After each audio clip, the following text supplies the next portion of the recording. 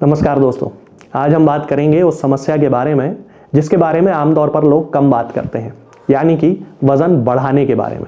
वज़न घटाने से संबंधित तो बहुत सारे वीडियोस आपने देखे होंगे, बहुत सारे दवाओं के बारे में आपने सुना होगा, बहुत सारे नुस्खों के बारे में आपने सुना होगा कि पेट की चर्बी को कम कैसे किया जाए, वज़न को कैसे रातों रात घटा दिया जाए, चर्बी को कैसे पिघलाया जाए, आपने इसके बहुत सारे वीडियोज़ देखे होंगे, बहुत सारे दवाओं और बहुत सारे नुस्खों के बारे में आपने सुना होगा।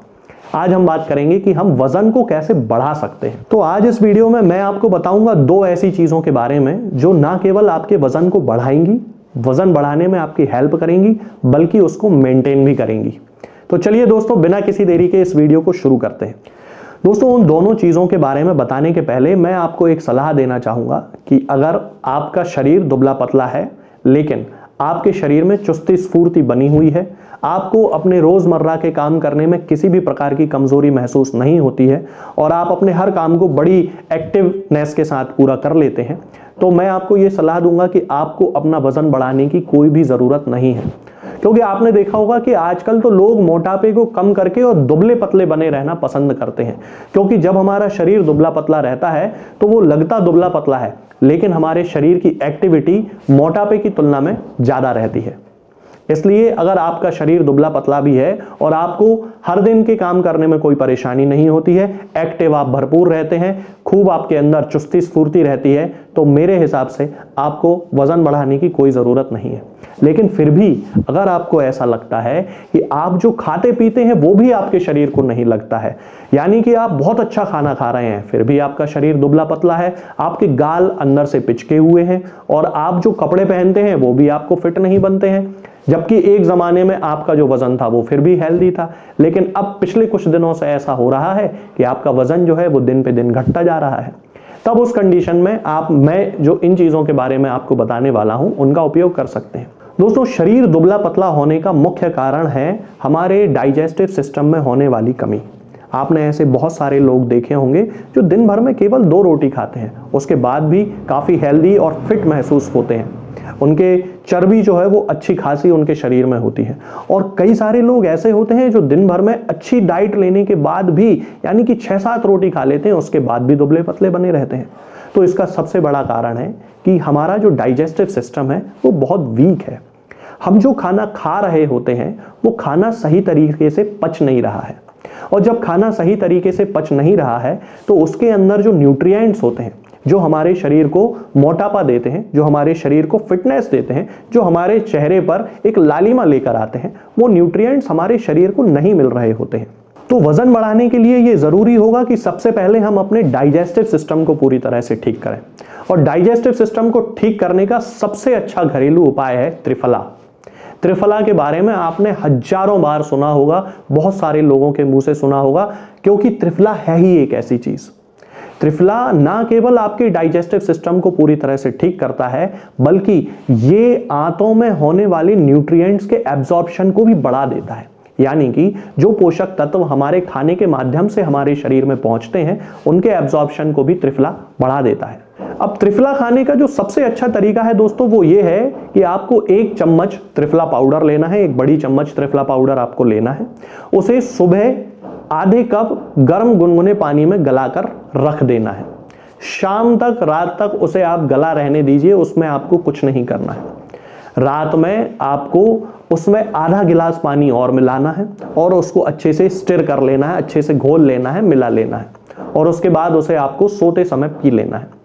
इसका फ़ायदा ये होगा कि ना केवल सुबह से आपका पेट साफ़ होने लगेगा, बल्कि आपकी आंतों में जो गति है, वो भी नॉर्मल होने लगेगी और आपका डाइजेस्टिव सिस्टम बहुत अच्छे से काम करने लगेगा। अब इसके साथ में जो आपको दूसरी चीज़ लेना है दोस्तों, वो है जीरा। जीरा हमारे घर में पाया जाने वाला एक आम मसाला है, जो हर घर में मिलता है। अब आपको जीरे के बारे में जानकर ये बड़ी हैरानी होगी कि जीरा हमारे शरीर में मौजूद जो डाइजेस्टिव जूसेस होते हैं, उसके सीक्रेशन को बढ़ा देता है। यानी कि खाना पचाने वाले जो रस होते हैं, उनके सीक्रेशन को बढ़ा देता है, जिसके कारण ऑटोमेटिकली हमारा डाइजेस्टिव सिस्टम बहुत अच्छे से काम करने लगता है।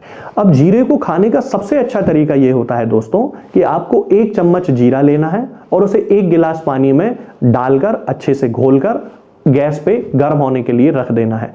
लगभग 10 से 12 मिनट आपको ये पानी उबलने देना है। जब ये आधा गिलास पानी रह जाएगा, तब आपको इसे गैस से उतार लेना है।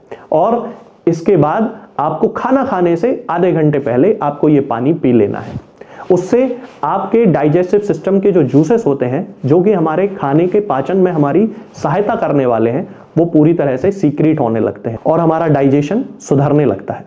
ऐसा आपको दोनों टाइम करना है दोस्तों, जब भी आप खाना खाने बैठे, आपको आधे घंटे पहले ये जीरे वाला पानी जो है वो पी लेना है। इससे आपका डाइजेस्टिव सिस्टम बहुत अच्छे से काम करने लगेगा। अब दोस्तों, ये जो दोनों चीज़ें हैं, ये डायरेक्टली आपके वज़न को नहीं बढ़ाने वाली। ये इनडायरेक्टली आपके वज़न को बढ़ाने में मदद करेंगी। यानी कि आप जो खाना खाएँगे, उससे ये पौष्टिक चीज़ों को आपके शरीर में पहुंचाएगी और जो लोग कहते हैं कि हमें खाया पिया नहीं लगता, उनको जो भी वो खाएँगे, उससे उन्हें पूरी तरह न्यूट्रिएंट्स मिलने लगेंगे। अब मैं बात करता हूँ उन चीज़ों के बारे में जो डायरेक्टली आपका वज़न बढ़ाने वाली हैं।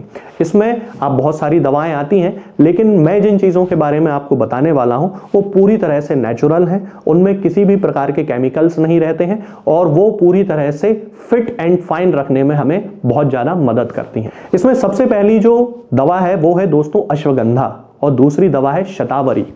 अश्वगंधा के बारे में मैंने पहले भी बहुत सारे वीडियोस में बताया है कि अश्वगंधा हमारे शरीर के लिए एक बहुत ही पौष्टिक पदार्थ है।